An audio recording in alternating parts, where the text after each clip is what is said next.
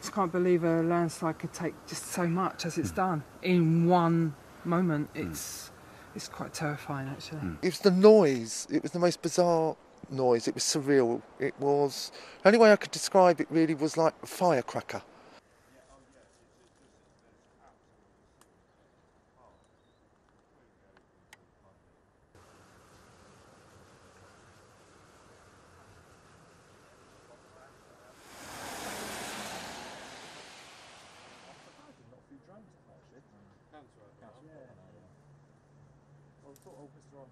In time is that the whole area is going to keep uh, destabilizing. The waves, the storms, that they, they, they remove material they erode the toes, and that destabilizes the whole mass.